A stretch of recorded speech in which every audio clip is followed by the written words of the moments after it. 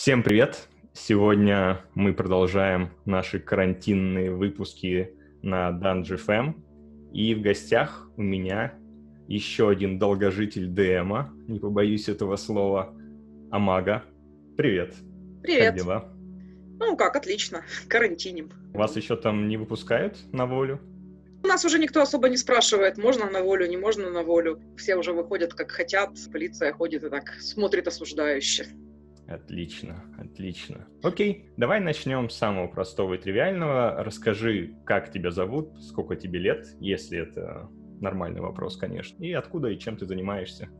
Вопрос нормальный, на самом деле, я не очень верю, что в интернете есть какая-то анонимность. Вот. Мне 37 лет, меня зовут Аня, я из Киева, жил, э, родилась здесь и почти всегда здесь жила, там, исключая год в Штатах и еще некоторые отъезды. Занимаюсь я, в данный момент я занимаюсь бизнес-анализом.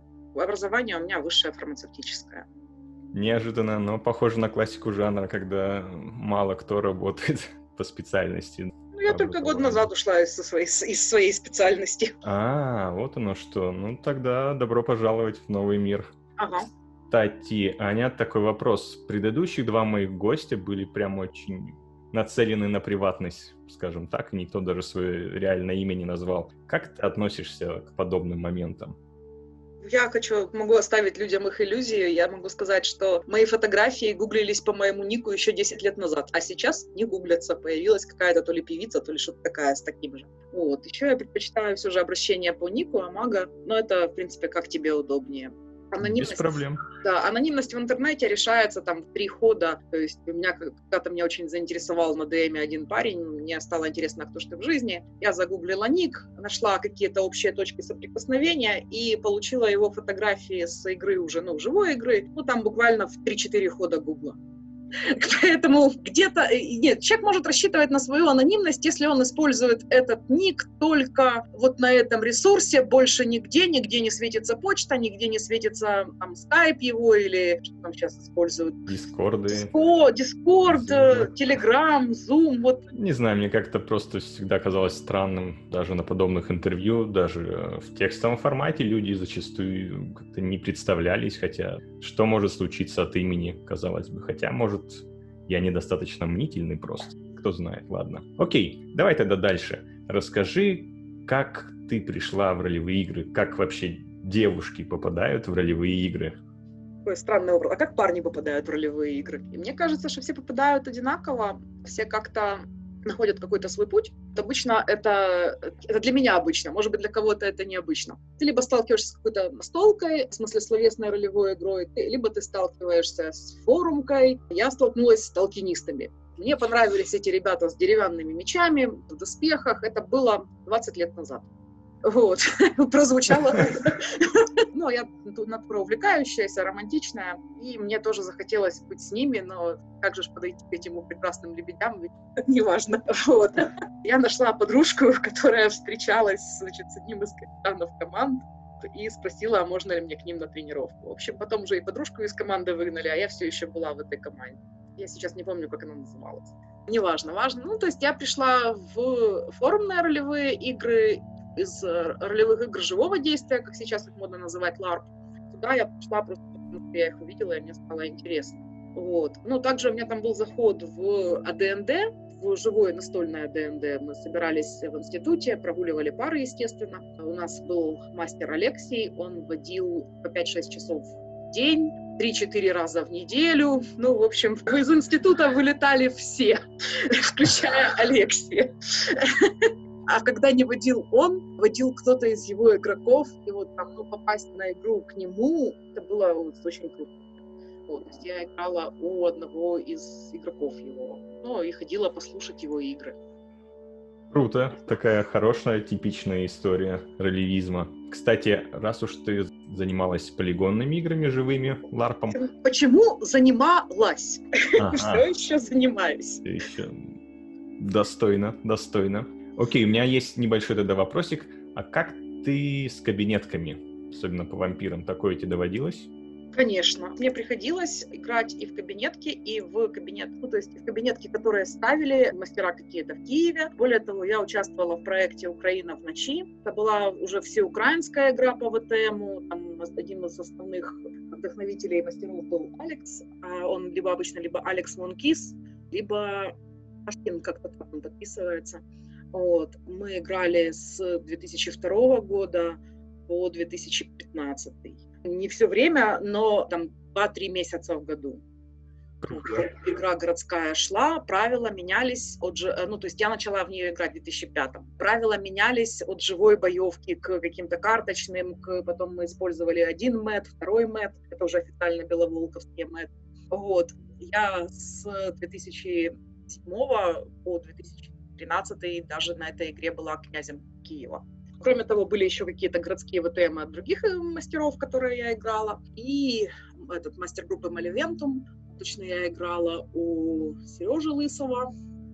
Вот. Да, ну, ну, то есть киевские. Я играла во львовский ВТМ, ездила во Львов несколько раз. В пятницу вечером после работы я садилась на поезд, чтобы попасть на ролевую игру во Львов. И я делала так в течение двух месяцев подряд. Ну, не только я, мы тогда с моим парнем Дашным ездили. Круто. Да, а, кабинетки, естественно, более мелкие игры мы тоже играли, очень разные, начиная от сняли базу, ну, заканчивая там сняли зал. Плюс была недавно во Львове игра, игра Game of Fangs, его ставил Марк Рейнхаген, ну, собственно, один из авторов ВТМ, и на этом прогоне, ну, моя катерия выиграла. Ну что ж, поздравляю тогда, да. Серьезно. Я смотрю, у тебя опыт прямо очень большой, это мягко сказано. И как раз тут у нас есть вопрос от Кайолы с ДМа. Звучит он примерно так. Я знаю, ты играешь не только в форумном или настольном формате, но и в полигонном. Расскажи об особенностях этих трех форматов, сравнении их друг с другом с точки зрения твоего личного опыта. Какие преимущества, недостатки каждого из них в сравнении с другими? Вот так вот немножечко заверчено, но надеюсь, что плюс-минус понятно. Окей, ух ты, видишь, как люди знают что-то обо мне. А какая может быть анонимность в интернете? Я не знаю, откуда Кайола знает, где я там играю в полигонные ролевые игры, но форматы действительно очень разные. Полигонная ролевая игра — это, ну, для меня, это вот сейчас. На самом деле, то, что, то, чем для меня являлась ролевая игра за 20 лет, очень сильно поменялось. Вот в данный момент для меня полигонная ролевая игра — это несколько месяцев подготовки, которые должны выстрелить ярким фейерверком на там 3, на 2, 3, 4 дня. То есть да, все, что ты там копил, придумывал, делал какой-то антураж, шил костюм, придумывал какие-то фишки своему персонажу или там придумывал нескольких персонажей. На полигонной ролевой игре можно умереть, да? Все это нужно концентрированно всунуть в эти 2-3 дня, сыграть по максимуму. На полигонной ролевой игре нету такого «я не тороплюсь, я сделаю это завтра» что завтра может быть последний день игры, а может быть уже день разъезда. Это не значит, что нужно вот бегать электровеником, терять какие-то моменты отыгрыша. Это значит, что нельзя придерживать ничего, нельзя, нельзя жадничать. Нужно давать и брать от этой игры максимум вот в эти вот 2-3 дня. То есть концентрированная подготовка и потом вот это вот яркий фейерверк форумная ролевая игра может идти годами. Я, честно говоря, не во, не, не во всякую игру готова играть годами, но в некоторые да. А опять-таки форумная ролевая игра — это а, ролевая игра, которую ты можешь поиграть, чтобы отвлечься на обеде. Если она еще и довольно активно идет, у тебя там есть какой-то пост в день или больше, а, мне, меня в основном интересуют такие игры, mm-hmm. то ты, это фактически твоя ДНД-сессия не заканчивается никогда. То, чтобы это хорошо это или плохо, каждый решает для себя. Не обязательно это АДНД. Ну, то есть форумная ролевая игра, она больше, ну, конечно, про литературу, меньше возможности всунуть свои пять копеек в пост человека. То есть человек написал пост, что он уже сделал вот это. Это такой, я вообще-то был немножко против, и тут нужно как-то либо договариваться, либо, ну, что-то такое. Либо вот даже сделал, это не страшно. Он сказал, то что-то, что, после чего ты должен был его, например, там, не знаю, ударить, да, а он еще после этого что, ну, 15 минут. И говорит, и говорит, да. Так, на самом деле он должен был заткнуться еще на первой фразе. Это такой, типа, мне нужно бы среагировать на то, на твое первое предложение, условно говоря, или там возразить тебе в первом предложении. Человека сложнее прервать.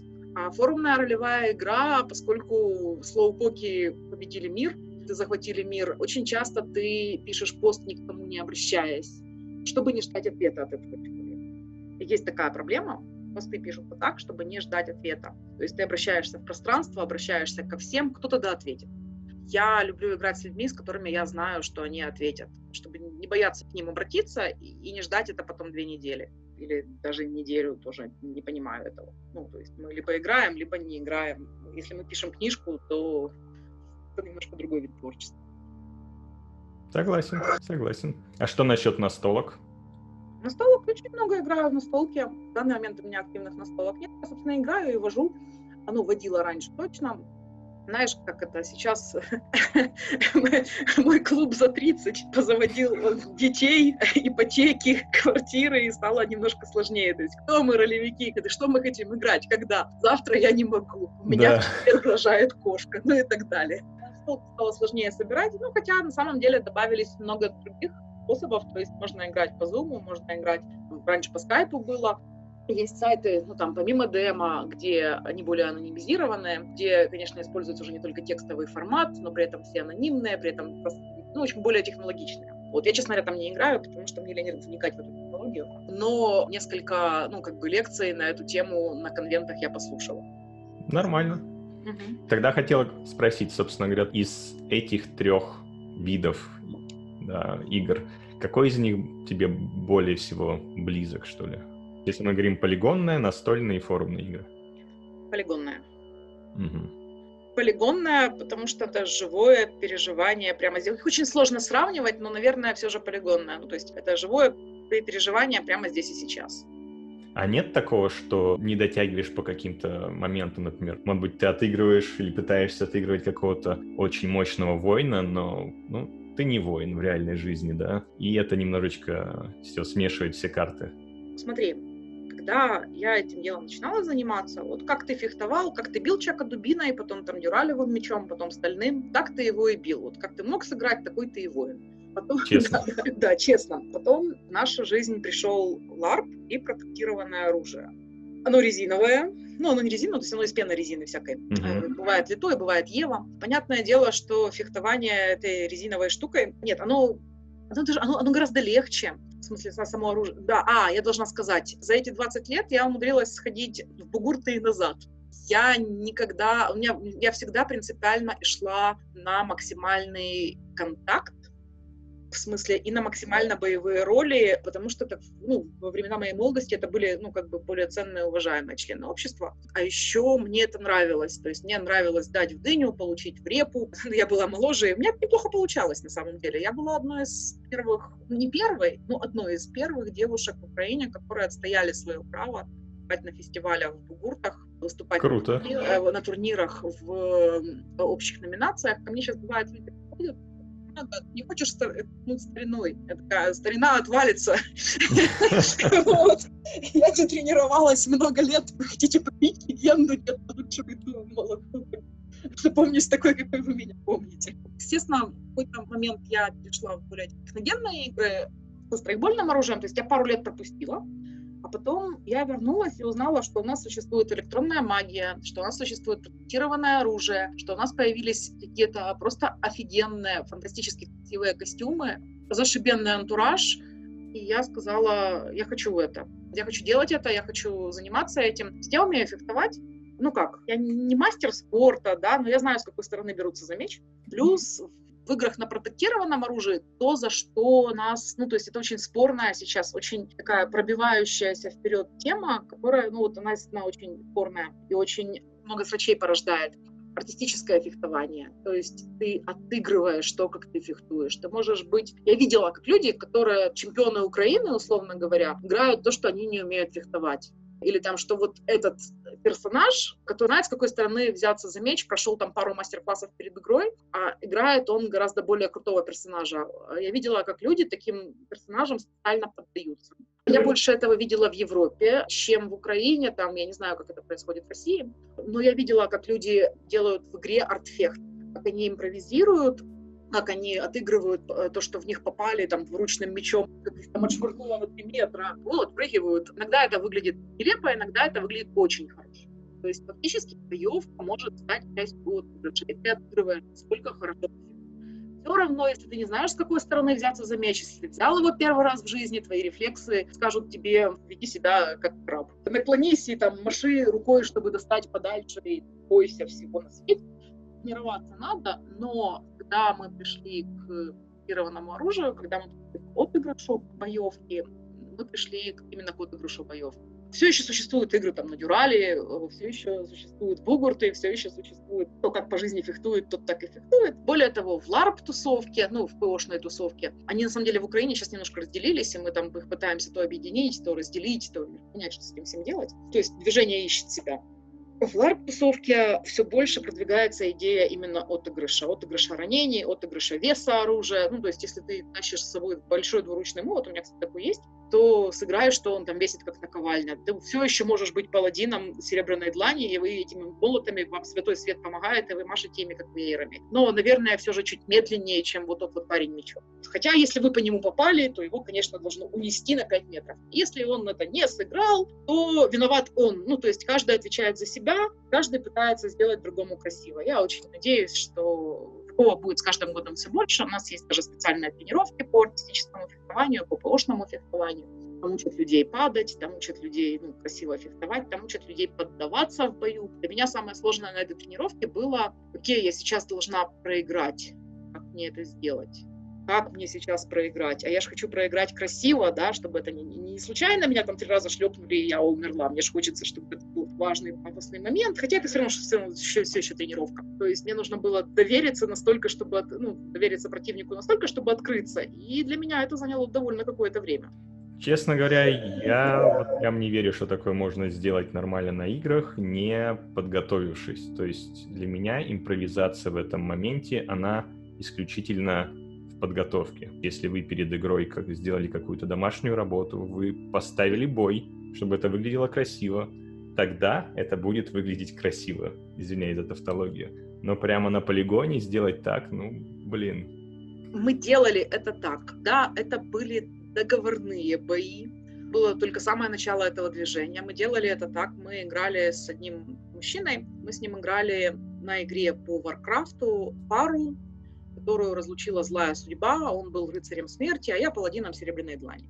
Естественно, у нас было очень много таких пафосных сцен, где мы там не добивали друг друга, но там воевали, ругались, спорили, мирились, спасали мир вместе, всякое было. То есть у нас игра пошла совсем не по канону. Вот. Но изначально мы такие, мы договорились, что там мы будем иногда собираться, там где-то решать с ним, куда мы дальше будем вести нашу игру, чтобы нам обоим было по кайфу. И у нас были сцены, когда мы там где-то с ним сталкивались и воевали, фехтовали, да.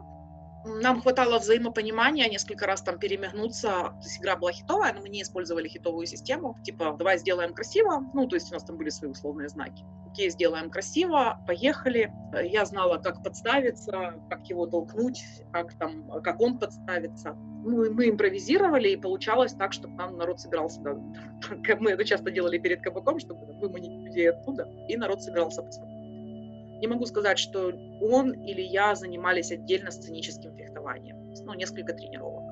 Ну, я имею в виду, здесь вы понимали друг друга, потому что, наверное, были знакомы, да, как- как-то так. А если ты встречаешь совершенно незнакомого тебе игрока где-то в поле, посреди поля? Мы списались и договорились, что мы будем играть эту историю до игры. И мы познакомились за неделю до игры, ага. при поездке на полигон, там ездили смотреть, что там с полигоном, где нам строить крепости и все такое. Мы познакомились там, переговорили и дальше просто играли. Это не то, чтобы мы знали друг друга много лет. Понял. Хорошо, звучит, но все еще звучит круто так или иначе. И надеюсь, что такое будет развиваться и, и дальше, и дальше.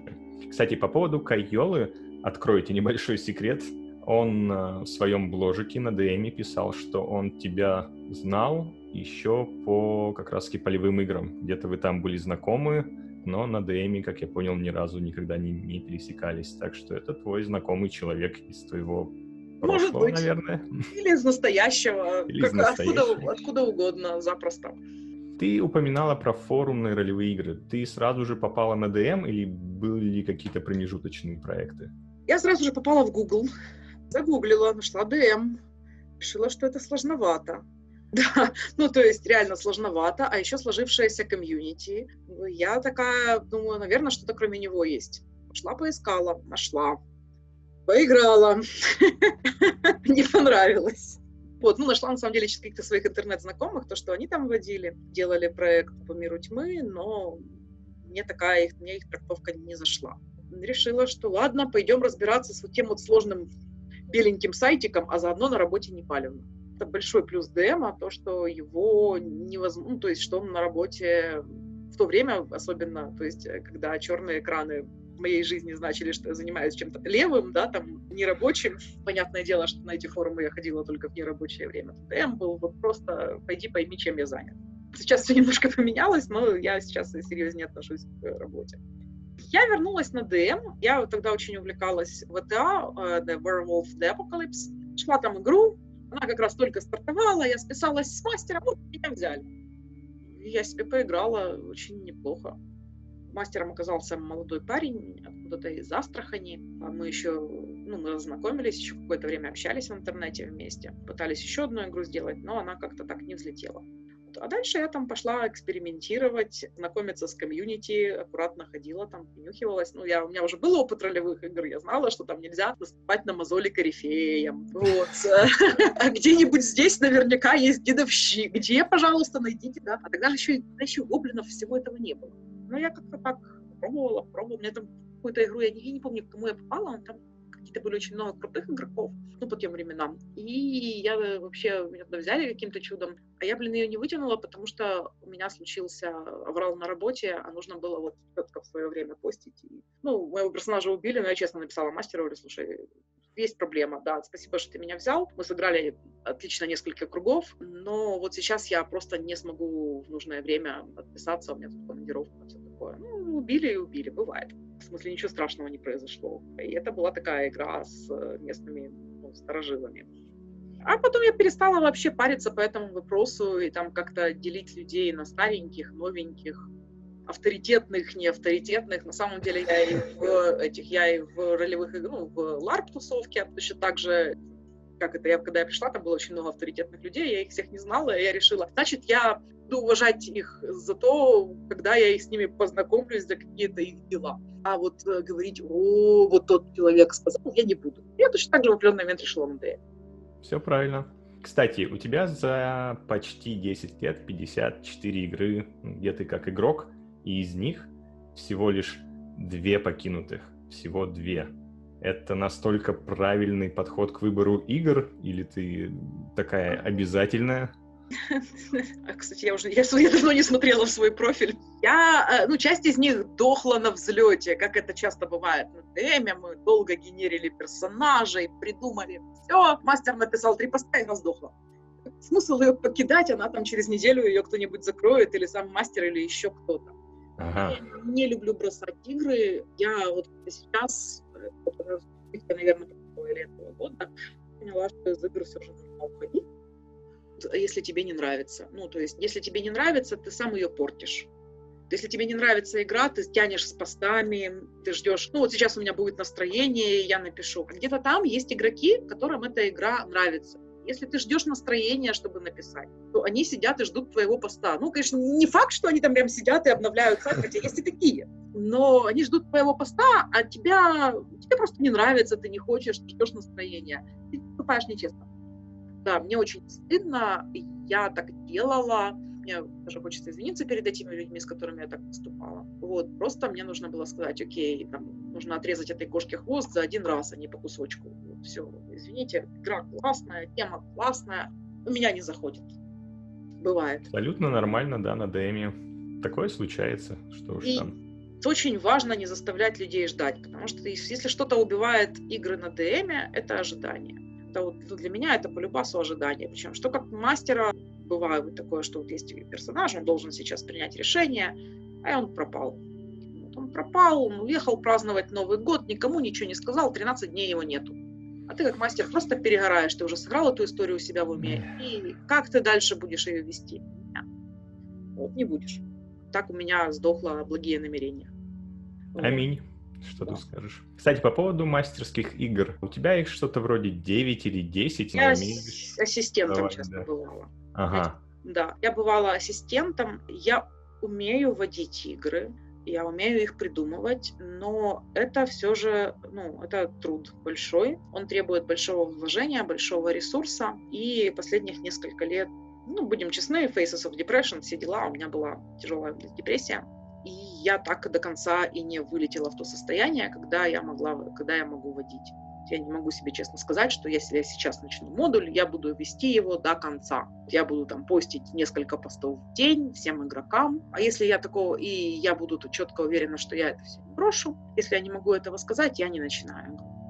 Честно. А была в итоге хоть одна тогда твоя игра, которая дошла вот прямо от начала до конца? Ну, почти до конца дошли благие намерения. Они были на финишной прямой. Мне нужно посмотреть свой профиль на самом деле. Я не могу сказать, что я довела, ну, что у меня есть. Были оборотни тоже еще какие-то, почти до конца. Они тоже были на финишной прямой. Что-то что случалось. Кто-то пропадал, либо что-то случалось со мной, либо кто-то забивал. Ну, что-то случалось. Бывает такое? Да, shit happens.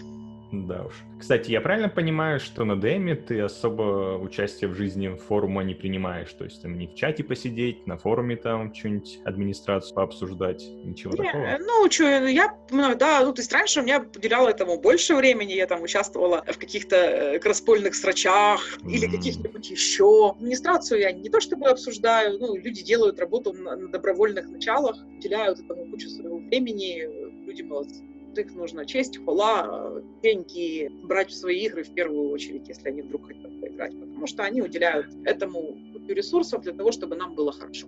Делают ли они при этом хорошо или хуже? Другой вопрос. Так это без время рассудит, и все, что будет плохо, оно отомрет.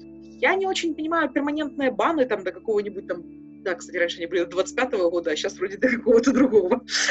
Да. Вот, а то некоторые люди вышли из банов, потому что прошло 10 лет. Вот. То есть этого я не, я не понимаю, это я понимаю это в случае каких-то ботов. А если там человек просто там, ну, ходит, трубит, но при этом вводит еще что-то, ну, какие-нибудь ну, я так полагаю, там так или иначе бывают амнистии, даже таких людей выпускают. Да, я помню, я помню такие амнистии, я помню там эти демонстрации игроков, верните Артемис, еще что-нибудь такое. Вот как сейчас оно происходит, я не знаю.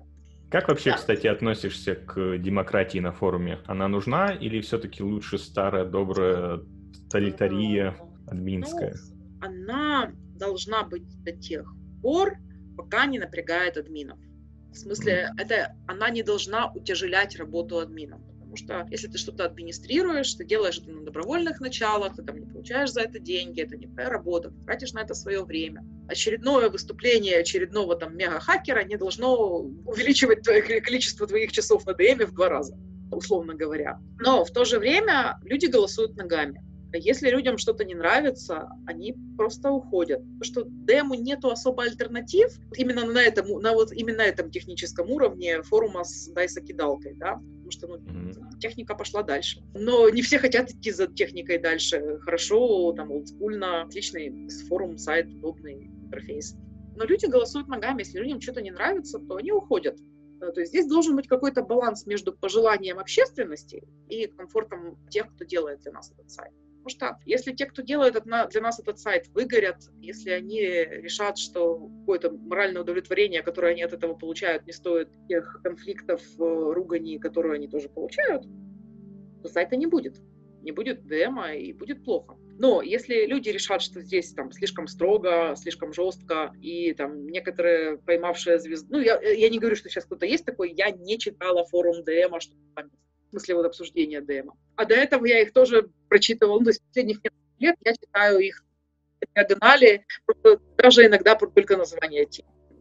То есть если люди решат, что здесь кто-то там поймал звезду, и там, занимается каким-то буллингом или просто там ну, преследует кого-то или затягивает гайки, запрещает, не знаю, что-нибудь, что хочется делать, люди просто уйдут, и тогда не будет этих людей. То есть сайта не будет ни без администрации людей, которые вкладывают в это свое время и ресурсы, ни без игроков.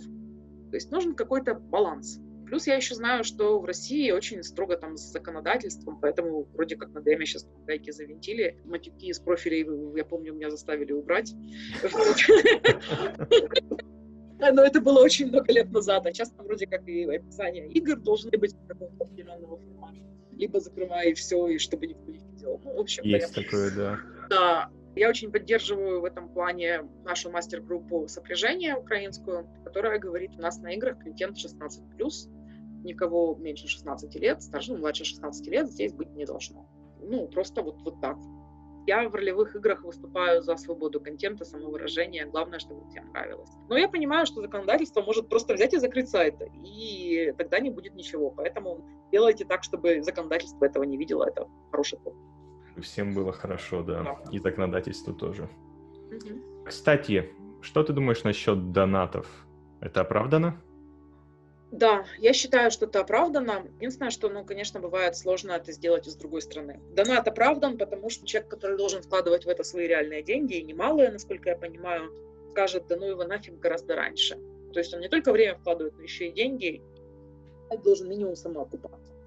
Согласен. Да. А Мага, ты донатишь? В данный момент нет, потому что я нахожусь в Украине, а донатить надо в Россию. То есть, если бы это можно было сделать очень просто с карточки привата, я бы это делала. А поскольку карточ... ну, с карточки привата это сделать нельзя, то придумывать способ сделать это через WebMoney, PayPal, еще как-то, я просто не пользуюсь этими платежными системами. Хотя, по-моему, в последнее время с карточки с кредитки как-то можно было закидывать, но я, честно говоря, не уверен. Я проверю этот момент. Я помню, когда это всплыло, и я поняла, что мне нужно решить как-то вопрос с вебманями. И я такая, блин, мне очень стыдно, я не пойду mm-hmm. решать вопрос. Это нормально. Дорогие радиослушатели, не забывайте, донаты — это достаточно важно очень важно для нашего любимого сайта, так что поддержите dungeonmaster.ru рублем, ну или долларом, или евро, кому как удобней. Мы пока что продолжаем и двигаемся все ближе и ближе к насущному, к играм. Амага, как так вышло, что мир тьмы занял, по моим ощущениям, приличное место в твоем ролевом сердце? Так получилось, что да, я певно посвятила этому довольно длительный период своей жизни из-за городских игр. Так получилось, что я неплохо знаю сам мир и систему, ну, то есть игровую систему. И изучение бэка мира и игровой системы на самом деле занимает какое-то время. В данный момент я столкнулась с такой проблемой, что у меня есть жизнь, работа. У меня просто нет времени сейчас читать книжки по новым системам. Это большая проблема. Я отлично читаю на английском, но у меня просто нету этих там скольки-то часов подряд, чтобы вникнуть, что-то там сгенерить, что-то придумать. И я, бывает, смотрю на модуль и говорю себе, наверное, это интересно, но я ничего не знаю. Ну, то есть я очень мало знаю про мир, я очень мало знаю про систему, я вряд ли сделаю персонажа, наверное, я пасану. С миром тьмы такой проблемы у меня нет. Плюс я его действительно на самом деле очень люблю.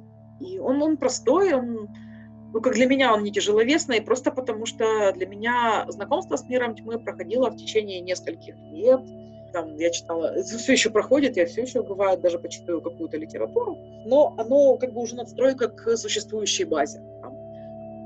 ДНД у меня закончилась, ну как не закончилась, то есть я после, первый и последний раз играла в ДНД по системе 2.5. Потом я еще поиграла по пятерке, она мне очень понравилась, но вот тройку я видела, четверку, про четверку мне рассказывали. Понятно, да. Страшилки на ночь. Да, то есть я играю в мир потому что я его знаю, потому что он мне нравится. Ну, то есть я знаю приблизительно, о чем будет игра. Я, кстати, очень не люблю мир тьмы, игры по миру тьмы в России, игры по миру тьмы в Украине. Не люблю это. Потому что везде странство ночи не рулит. А, да, а особенно я не люблю наши прочтения мира тьмы. Есть такая проблема, да. Я не, не буду приводить примеров, потому что, возможно, эти игры будут узнавать, хотя они делались лет шесть назад. Вот. Но э, все-таки вот то, что придумали беловолки по миру тьмы, оно сбалансированное. Если вампиры почему-то прячутся и не открывают себя всему миру, то ни в каком вездесанской ночи пять вампиров ради эксперимента не скажут людям, мы существуем. Потому что, ну, потому что иначе об этом узнает весь мир. Не без этого. Не без да. этого. Особенно в эпоху технологий. Конечно же. Я люблю канон мира тьмы, я люблю разночтение, я люблю... Ну, да, у меня есть любимая редакция, это третий ревайз. Пятую я не люблю, например. Я в нее играла, и она мне не зашла. Ага. Вот. А можно вопросик, почему? Ну, я имею в виду, изменения в механике конкретно не зашли? Да, мне не понравилась, мне не понравилась механика. Мне не понравилось то, что механика вообще не продумана. Например, если мы берем э, стартовых персонажей и опыт, который они получают за игры. но до уровня молодой революционер-анарх игрокам придется играть, по мастеру их водить э, около трех лет если ни, никак не схоумрулить этот опыт. Да. Потом, мне, честно говоря, не очень нравится, куда сейчас вообще идет тенденция ролевых игр. Мы уходим от игры, от переживания к отыгрышу мы уходим к разделению эмоций персонажа и игрока. Это, с одной стороны, хорошо. И очень важно уметь вовремя вынырнуть и сказать, эй, вот мой персонаж, вот я, и это разные люди. Вынырнуть — это важно, но для меня точно так же важно погрузиться, потому что как бы мы не крутили, ну, немножко больше связано с ларпом, но на форуме на самом деле тоже. Поэтому я не люблю вот эти вот все пусть мир подождет, я напишу пост через неделю. Потому что я остаюсь в состоянии переживания эту неделю, и, скорее всего, он там, на третий день сгорит, а на четвертый мне твой пост уже не нужен. У нас с персонажами одна на двоих там гормональная система, одни на двоих эмоции, одни на двоих реакции, да. А современные игры уходят от... Они пытаются разделить персонажа и игрока, то есть вот это вот, но останься там собой, да, то есть никого не травмируй, вот это очень важно, тенденция современных игр, никого, не дай бог, не травмируй, узнай, согласен ли твой партнер играть в это. Это, с одной стороны, хорошо, но с другой стороны, это порождает именно разделение персонажа и игрока. И не игру, а отыгрыш. То есть ты уже больше похожа на театр. Ты играешь персонажа, но ты не переживаешь то, что переживает персонаж. Вот это очень сильно выражено в пятой редакции. Ты, то есть очень много чего диктует тебе, ты должен сейчас испытывать вот эти эмоции. Хуже только во втор- в новой редакции, ну, во второй редакции нового мира тьмы. Там вообще есть состояние. Кондишн называется. Можешь ползнуть кондишн на другого игрока, и там четко описано, какие эмоции он при этом переживает и сколько он это должен открывать. Это такой, типа, а можно я как-то сам решу, что... Всегда есть золотое правило. Вообще очень интересный момент ты затронула, и, честно говоря, здесь я всегда, мне кажется, видел это как именно некий театр, театр воображения. И разве не в этом ли смысл, чтобы погрузиться в чужие тапки, назовем это так, да, чтобы почувствовать себя кем-то еще? Понятное дело, что мы всегда, ну, мне так кажется, по крайней мере, что в каждом персонаже нашем есть какая-то частичка себя, да, частичка нас — но как бы разве это не клево, когда ты можешь побыть и безумным ученым, ну, попробовать, по крайней мере, да, и варваром там каким-нибудь с пустошей холодных. То есть именно разные грани себя попытаться. Да, это, в, это, в этом смысл, но я же говорю, что есть, ну, современные ролевые игры идут к тому, чтобы разделить опыт, отыгрыш и переживания. Это делает комьюнити менее токсичным. То есть э, меньше пожизневых обидочек за игровые действия, меньше там договорнячков, вот он мой друзьяшка, я буду с ним играть. Это, дел, это делает комьюнити менее токсичным, но при этом оно убирает слияние тебя с персонажем. Оно убирает сопереживание персонажу и испытывание его эмоций. Я играю во многом ради эмоций. И поэтому ну, современные тенденции, я на них смотрю аккуратно делю на два, слушаю, слушаю все еще то, что там говорят на новых конвентах, а все новые, все новые как бы веяния, я пытаюсь, ну, не, я не то чтобы там вот специально, да, но у меня есть друзья, которые хочешь, хочешь, а все равно узнаешь все новые веяния, они тебе расскажут. Вот. Я не на все конвенты езжу, я, я вообще не очень люблю конвенты, но некоторые я могу послушать. То есть я правильно понимаю, ты за то, что опыт игрока равно опыт персонажа, примерно так? Что ты сейчас имеешь в виду? Твой персонаж — это отображение тебя. Если ты знаешь, как бить, да, там, грубо говоря, в репу, да, то и твой персонаж примерно будет делать то же самое. Если ты не знаешь нет. химию, то нет. Нет, ты все еще можешь отыграть. Угу. Я закончила там, фармацевтический факультет Национального медицинского университета Украины. Я играла крутых хакеров, программистов, вообще не умея, ну там, дать строчек кода написать не могла. Мне верили, достовер... другие программисты верили. А, Все еще можешь отыграть. Я имею в виду, что я за погружение в персонажа в плане эмоций. Угу. Я за поднятие спорных тем в играх. То есть, например, в украинских играх в данный момент табуирована тема секса. Особенно если это тема изнасилования. То есть нет, это мы это не играем, на нашей игре этого нет. Игра по ведьмаку. Окей. Понимаешь, да? Ну да. И я понимаю, почему. И я за, чтобы этого не было. Но я считаю, что в такой ситуации игроки должны договориться между собой. Всегда можно там сделать шаг назад и спросить, согласна сейчас в это со мной сыграть? И сыграть или не сыграть? Если человек не согласен, тут не можно заставить его играть. Это может быть как травматичный опыт, так и не травматичный. В каждой игре нужен дисклеймер. То есть на нашей игре вас могут съесть живьем. Для некоторых это триггер. Нормально, да. условно говоря, да. Но я считаю, что нельзя ограничивать переживания персонажа, игрока, потому что в данный момент, ну, в момент переживания персонажа для меня игрок сливается с персонажем ты чувствуешь его эмоции. Я сейчас все еще говорю немного больше про ларпы, потому что ну, на форуме ты два часа не можешь чувствовать эту эмоцию, тебя немножко попустит. То есть ты чувствуешь его эмоции, ты реагируешь на то, что он реагирует так, как он среагировал. Ты еще можешь это сыграть, как в театре, а можешь прочувствовать. Я из, из тех людей, которые выберут прочувствовать. Я не говорю, что это правильный путь или неправильный. Кто-то может сыграть, и это будет красиво, и ему нравится именно тотальная часть всего, а там он будет с холодным разумом наблюдать это как бы со стороны. Если кто-то так может, честь ему хвала, и если ему это нравится, то почему бы нет? Вообще, все в ролевых играх должно нравиться участникам. Если это им нравится, то все хорошо. Именно. Отлично, хорошо. Это очень хороший ответ, спасибо. Кстати, тут один из э, игроков с ДМа, Райга, спрашивает тебя, как ты относишься к эротическим играм? Райга, наверное, читала игры, в которых я играла. Нормально я к этому отношусь. Ну, имеется в виду, знаешь, скорее игры рейтинга, может быть, даже 21 плюс, не то, что там 16 плюс, да. А, в играх, в которые я играла, был, э, даже на форуме, на ДМе в том числе, был детальный отыгрыш секса мужчины и женщины, мужчины и мужчины. Вот, вот женщины и женщины пока не было. Вот так вот. Да, но я не против секса в играх как я решаю этот вопрос с ларпе, мы давай оставим. Не факт, что я иду в палатку с каждым. Ну, то есть на каждой игре это обыгрывается по-своему. Мне очень понравился дисклеймер одной из групп. Мы не будем описывать, как это вам нужно отыграть. У ваших персонажей есть момент близости. Как вы хотите это эмоционально отыграть, это мы оставляем вам. То есть хотите, Отлично. подержитесь за ручки, хотите, поешьте сгущенки, хотите, потанцуйте, Главное, чтобы всем нравилось. На откуп игрокам. На да, на откуп, да, на откуп игрокам. То есть сцены 21+, если мы имеем в виду сцены сексуального характера, я отношусь к ним нормально.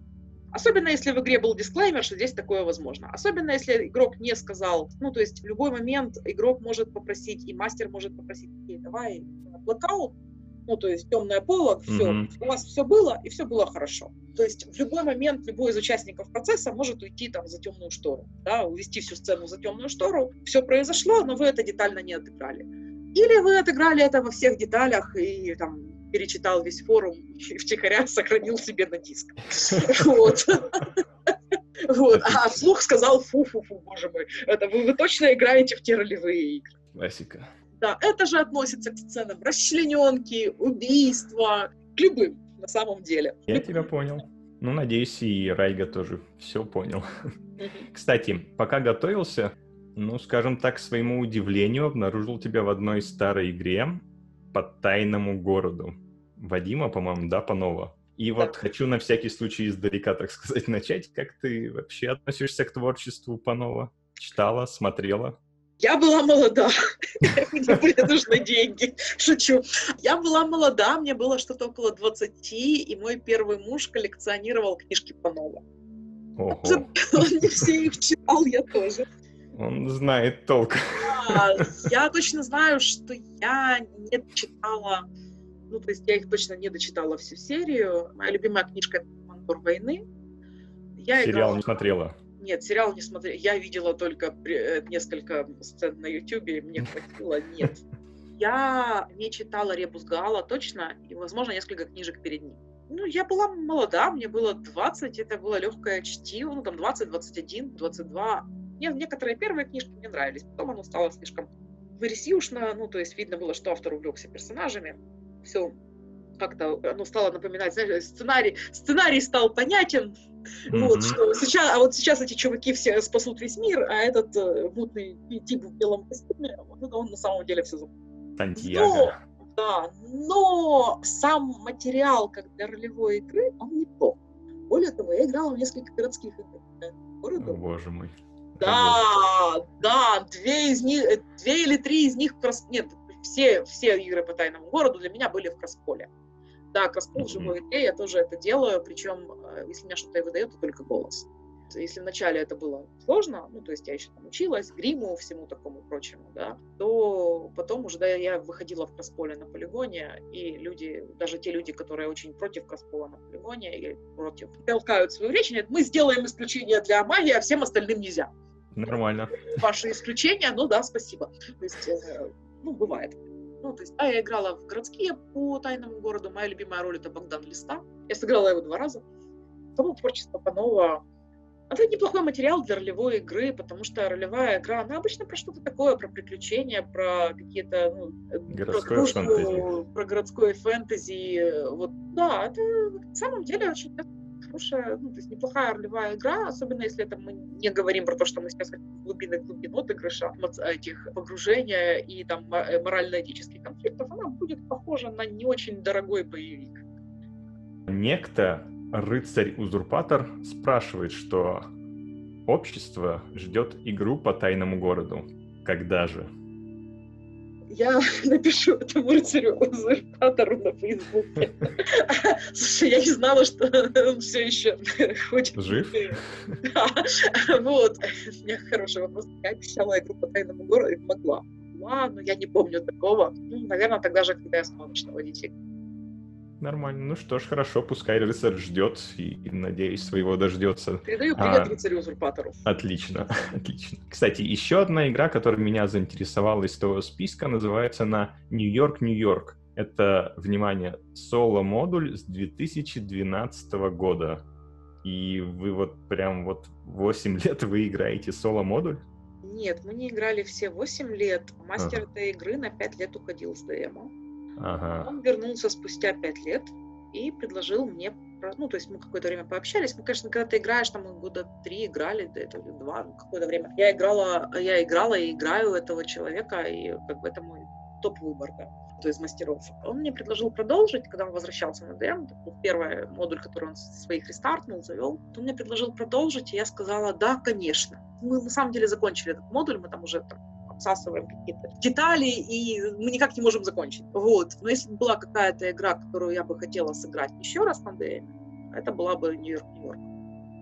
Я, это Круто. Игра, которая просто взяла за душу. И она была а кто мастер? Иншал. Иншал, да. Кстати, вас достаточно часто видно вместе. Вы прям настолько нашли себя на ДМе? Я не могу сказать, что мы нашли там, друг друга на ДМ или себя на ДМ. У нас совпадают некоторые взгляды, ну, не, не без конфликтов, конечно, не без каких-то недопониманий, но в целом, я же говорю, что с моего топового выбора, мастеров, которых я бы хотела играть, игры, которых мне очень нравятся, игры, которых я буду читать, даже если я в них играть не буду. Да, мне очень нравятся его игры. Ну, как бы, как игрок, мне кажется, раньше ему нравилось больше, а сейчас, ну, есть какие-то небольшие там разногласия. Ну, я надеюсь, что он все-таки дойдет до этого интервью, и, возможно, у вас будет повод еще пообщаться на эту тему. Не надо.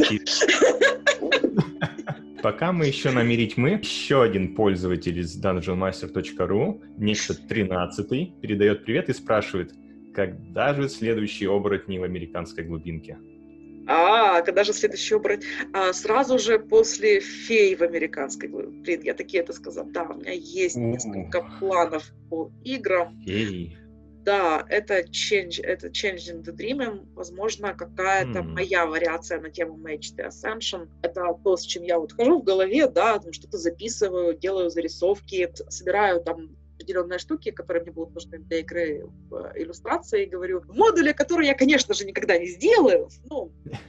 Но было бы интересно, да? Да, но было бы интересно. Я знаю, что я его сделаю. Вообще «Мир тьмы», он писался под Америку 80-х. И вот это то, что нужно играть. Потом, конечно же, есть пятая... Вот что хорошо пятая редакция, это то, что они современность хорошо переработали. Вот, то есть бэк в ней, бэк в ней, лор, бэк в ней хороший. Но мне нравится именно этот дух 80-х, еще не 90-е, еще не 2000-е, вот раз вот этот вот, ну, он особенный. Вот это должна быть Америка, либо мегаполисы, либо глубинка вот этих вот самых 80-х годов, или близкая к тому, там, застрявшая во времени.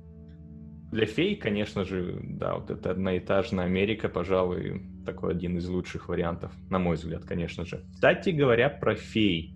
Вот ты сейчас сказала Dreaming, линейка «Старый мир тьмы», и у меня чуть-чуть все немножечко упало, скажем так. Я правильно понимаю, что к Лосту ты относишься хуже? Я Lost знаю лучше, и, честно говоря, все еще люблю больше. Угу. Игр по этому вопросу не было очень долго.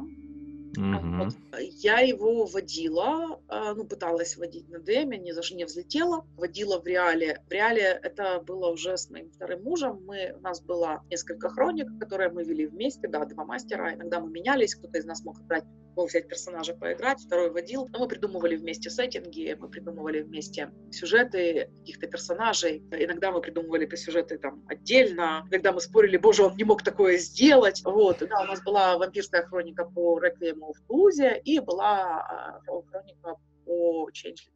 И с тех пор все, что я видела на ДМ, это игра Разиэля, который несколько раз это реанимировал, и больше я ластов особо и не наблюдала и не наблюдала их в, своих, в своем окружении. Очень клевый, богатый сеттинг, но почему-то его никто не водит. И никто, ну, как бы игроков на него найти довольно Очень большая проблема, я прям даже не знаю. Не знаю, что с этим делать, ведь феям почему-то очень мало уделяется внимания. То ли в силу, может быть, какого-то недопонимания, потому что сеттинг своеобразный достаточно, то ли в силу еще чего-то, да, непонятно. Хотя вот лично мне The Lost нравится больше. То есть Dreaming клевый, он такой очень как сказочный, да, но The Lost для меня это именно такой вот квинтэссенция фей, именно мира тьмы, каким он, наверное, должен быть в идеале. Dreaming и Lost, они немного разные. Кстати, сам Иншал mm-hmm. придумал, как их компилировать вместе. Идея мне понравилась, вот. но это нужно говорить с ним Lost, он более понятный в своих концепциях, в заложенных в его концепциях. То есть, да, ты беглец от странных чудовищ, может быть, феерических чудовищ, ты несешь часть их там того, что они с тобой сделали, это часть твоей силы, и ты как-то с этим живешь. Ну, это очень люби, это любимая тема в мире тьмы, на самом деле. В дриминге все немного по-другому. Я, кстати, не тот человек, который много может рассказывать про дриминге. Дриминг — это твой мир умирает, вот. Однозначно умер, кстати, очень в Вервольфах то же самое mm-hmm. вопрос поднят. Более того, реальность тебя убивает. Ну, в общем, но при этом она, да, он более сказочный. На самом деле, Dreaming — это игра про ролевиков. я бы сказала, да, это игра про ролевиков. И да, очень многие ролевики из компании обзавелись своим бизнесом, детьми, семьями и больше не играют в ролевые игры. Банальность поглотила, да, да их. Где же наше лето, да? Ну. Э, Согласен, отчасти это как раз про это. Хотя я думаю, тут многие найдут отголоски чего-то своего, будь ты ролевик или кто-то еще. К сожалению, да, вот эта тема взросления, она как бы очень актуальна, когда, да, с годами появляется какая-то вот эта рутина, которая отнимает больше у тебя твоей жизни и не дает столько много радости, как там, не знаю, может быть, лет в 20, 15, 16. К сожалению, в общем, ситуация с феями на форуме довольно плохая, причем я даже недавно видел то, что запускал Иншал. Это были, по-моему, как раз-таки стриминг, но еще по темным векам. И игра да. так и не стартанула, набралось куча читателей, но никто не захотел, ну, точнее, я думаю, всем набралось... сложно в это играть. Набралось куча читателей, но никто не захотел прочитать книжку к сожалению, включая меня. То есть я прочитала ее наполовину, но этого было недостаточно. Ну, то есть я очень хотела поиграть в эту игру, но я понимаю, ну, это что та самая проблема, когда у тебя просто нету ресурса, времени сесть и читать книгу и запоминать ее. На мой взгляд, сейчас, когда уже очень много появляется очень легковесных систем, которые позволяют тебе буквально за полчаса там, или за 10 минут сгенерировать персонажа и идти вперед, то, что называется OSR, Old School Revival, возможно, ты про это слышала. Да когда все упрощается, ну, в этом плане упрощается.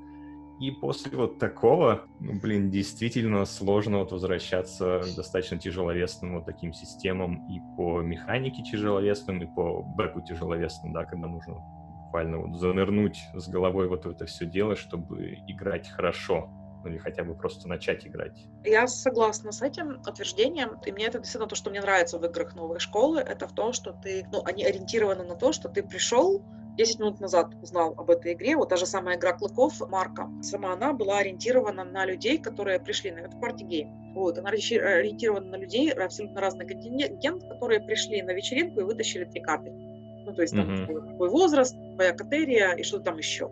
И готовы играть. То есть там в этих карточках есть все, что им нужно о том, чтобы знать об этой игре. И действительно, нам там выдали эти три карточки, которые ну, там были формата половинка А4, все, что нужно знать персонажу и все, что нужно знать игроку о взаимодействии. И получив эти карточки, не зная ничего о мире тьмы, действительно можно было играть в эту игру. На самом деле мир становится все быстрее, наш мир становится все быстрее, у нас все меньше времени на то, чтобы там, пролазить в окна к любимым, в смысле читать. Мы перестали пролезать в окна к любимым. Не залезать, а пролезать. Вот. То есть читать все эти книжки. Почему я не играю в Гурпс? Потому что когда-то я играла в Гурпс. Тренировка персонажа в Гурпс занимает неделю. Неделю да. ты подсчитываешь цифры и балансируешь их. И нет этой недели. И на самом деле не хватает просто времени и ресурса для поглощения большого количества информации, а современные игры ориентированы на то, что тебе дали три карточки, ты готов и пошел играть. Но не все мастера на это согласны, не все игроки к, к этому готовы. То есть, например, там, приведи в мой, в мой любимый э, мир тьмы персонажа, который прочитал только три карточки.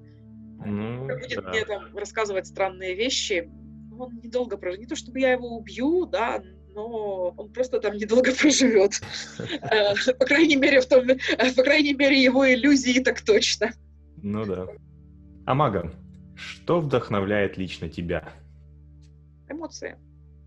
Яркие угу. эмоции, как фею из нового мира тьмы. Яркие эмоциональные переживания. На самом деле, ну, вся наша жизнь состоит из, ну, из опыта, experience а, из переживаний, из впечатлений в сухом остатке единственное, что имеет ценность, это впечатление, это то, что ты получаешь именно для себя. То есть все, что ты делаешь, ты делаешь для того, чтобы получить впечатление. Это очень такое жесткое признание, сейчас очень многим не понравится. Но все материально, ну, на самом деле, проходящее, сказал человек, сегодня купивший мотоцикл. Я купила его ради впечатлений. То есть э, для меня игра — это эмоции. Я думаю, это абсолютно нормально. Ну, то есть все мы для чего-то собираемся на форумах или за столом, или где-то в поле, и впечатление, да, пожалуй, тот самый наркотик, который позволяет нам день ото дня исполнять всю остальную рутину. Наверное, как-то так. Да, то, что это наркотик, у меня иногда возникает мысль, что, да, действительно, ролевые игры в чем-то наркотик. Абсолютно нормально. Кстати, обратно к ролевым играм. Я заметил, что у тебя, наверное, даже большая часть твоих персонажей на Дэме — это именно мужчины. Я так понимаю, что к располу ты относишься нормально. Да, я отношусь позитивно к, к располу, отстаивала право игроков на кросспол очень долго и много. Сильно пожалела, что выбрала не гендерно-нейтральный ник и указала mm. пол в профиле. Потому что если бы я была, ну, если бы я регистрировалась на DM еще раз, ник был бы гендерно-нейтральный, я говорила бы с людьми вне игры так, чтобы моя половая принадлежность была непонятна, и краспольные, ну, и краспольные срачи были бы просто пресекли. Ну, как бы, меня бы, краспольная, краспольная дискриминация меня бы не касалась. Вот. Ну, с другой стороны, можно с ней повоевать, как там с ветряными мельницами. Это уже каждый выбирает, наверное, сам, да. А все-таки почему именно кросспол? Почему персонажи мужчины, да, а не персонажи женщины? Все же перс- абсолютно одинаковые персонажи с абсолютно одинаковым бэкграундом, абсолютно одинаковым занятием, абсолютно одинаковой концепцией мужчина и женщина будут играться по-разному. Почему бы не сыграть мужчину, если мне хочется именно мужской образ в данный момент? Мне хочется мужскую модель поведения, мне хочется там, те мужские качества, которые я закладываю в своих мужских персонажей, а в женском оно будет смотреться не так оно будет смотреться mm-hmm. наигранно, оно будет смотреться как, ну, как это, очень сильно выпендривающаяся и самоутверждающаяся девочка, условно говоря. Да. И это не тот образ, за которым я сейчас хочу сходить. Я хочу сходить вот именно за вот этим образом. Почему нет? У меня это периодами, у меня периодами много женских персонажей, периодами много мужских. Сейчас у меня период женских персонажей. Я да, хорошо доиграла своих распольных, чуть-чуть поиграю девочек. Я выбираю мужского персонажа, когда мне нужен внутренний стержень и уверенность мы все же часто следуем каким-то шаблонам, ну, там, литературным, каким-то, что-то, что мы видели, которые заложены, да, и женских персонажей таких их меньше, они, скорее всего, идут с концепцией профессионал, и у них урезаны все остальные ну, там, аспекты их жизни. Я играла таких женских персонажей, было интересно. Но мне хотелось таких мужских персонажей. Почему мне было бы их не сыграть? Я их сыграла. Да. Почему бы и нет? Кстати, говоря вообще про мальчиков и девочек, как вот, по-твоему, есть какое-то принципиальное различие в том, как играют парни и как играют девушки, будь то за столом, в поле или на форумах? Девушка чаще будет просить помощи.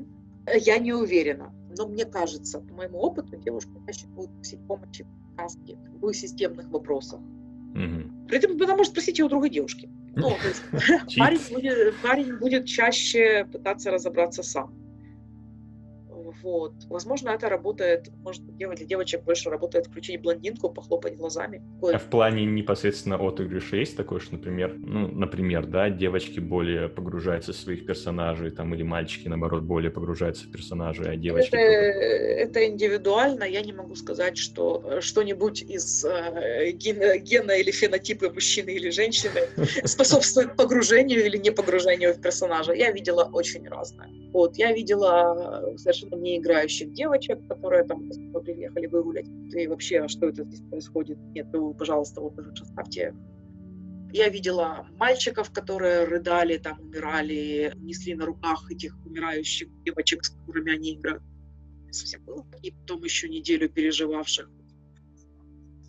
Я видела разное. Я видела то есть, хорошего девушек, хорошего парней. Я видела глубокое погружение тех и тех.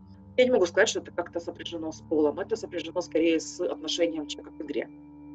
Хорошо. Кстати, Амага, вот ты на форуме уже почти 10 лет. Что-то изменилось за это время в тебе, как в игроке?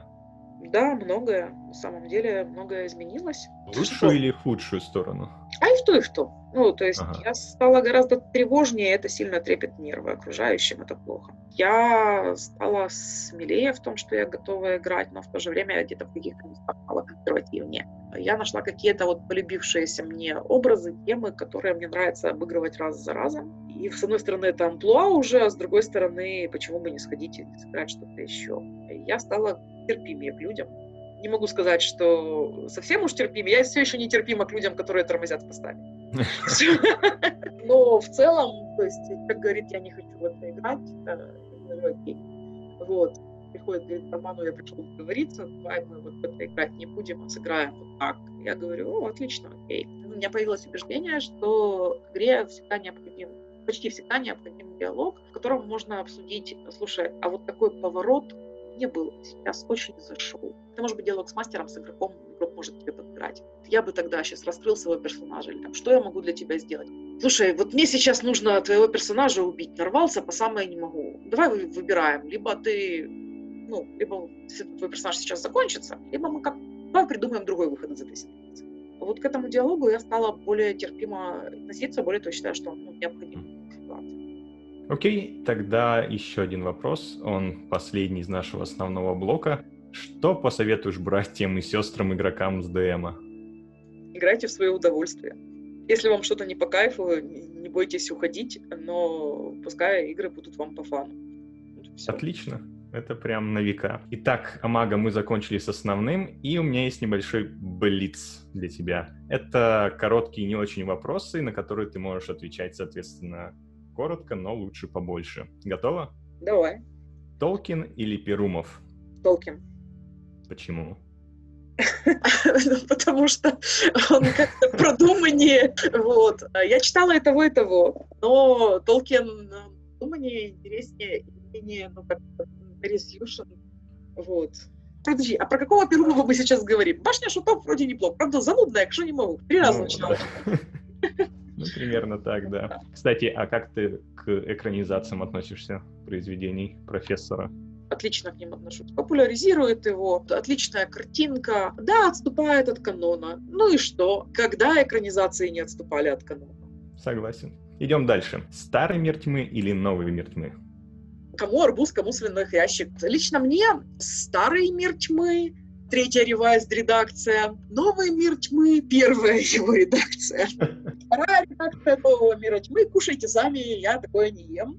Пятая редакция старого мира тьмы, тоже кушайте сами. Отлично, хорошо, хорошо. Назови, пожалуйста, три плохих качества игрока, на твой взгляд. Для форумной ролевой игры или вообще? Ну, а, кстати, вот что тебе больше хочется? Можешь вообще даже. Стремление всегда победить.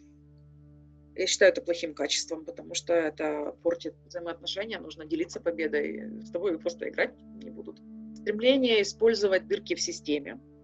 И самое важное, наверное, это отсутствие отыгрыша. Похоже на правду, особенно последнее, да.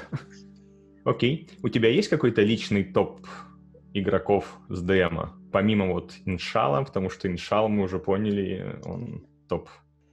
А, я люблю Эротара, с ним тоже довольно интересно играть. Знаешь, те игроки, которые долгое время были у меня в топе, например, сейчас я бы с ними играть не начала, потому что это вот в неделю, и я подумаю, вот, mm-hmm. я не хочу называть эти имена. Вот, ну такие, такие вот дела. Просто, а многих этих людей уже давно, ну, как бы и нету на ДМе. Мне очень нравится Ла, Ланни Ланфер. Вот, она, ну, кстати, да, мы с ней сейчас играем. Я, у меня сейчас немного игр. Она мне нравится, или он, я не уверена, кстати.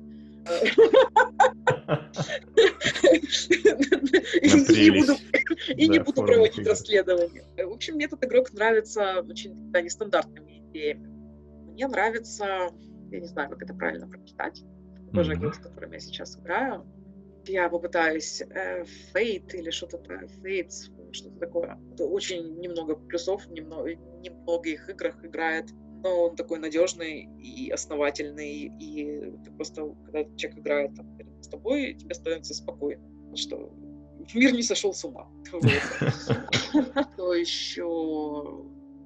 Я не хочу называть тех, я играла, перестала. Мы можем остановиться уже сейчас, да, если больше в голову не лезет. Да. Хорошо, отлично. Если бы тебе довелось сделать выбор представителем какой линейки мира тьмы стать вот в реальной жизни, Твой Боже выбор. упаси, а можно я буду человеком дальше? Можно, это отличный выбор. Отличный выбор, почему бы и нет. Окей. Что есть магия игры? Магия игры? Угу. Это сложный вопрос. Магия игры — это то, когда придуманный мир оживает. Это такая некромантия. Ну, прозвучало круто, тем не менее. Окей, это подходит, хороший ответ. И мой последний вопрос на сегодня, самый, на мой взгляд, интересный, особенно от тебя, как от человека, который уже пожил, повидал. В чем смысл жизни? 42. Слышал я такое. Ну, его, его нету.